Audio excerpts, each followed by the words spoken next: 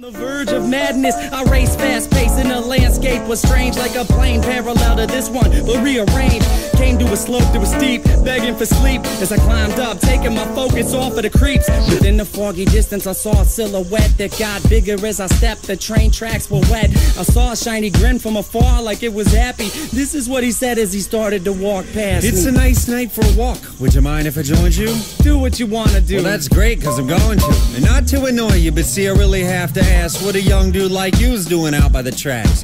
You waiting on a train? Nah, man, let me explain. I'm minding my business, so maybe you should do the same. I just been a witness to something sick and sadistic, so twistedly disgusting. You should feel real lucky you missed it. Ooh, easy with the tongue, son. Try to listen carefully. What you seen scary, but nothing when compared to me. I can show you things to paint all your dreams haunted. I can make you scream if I wanted. Or I can be the bee in your bonnet, your best friend forever.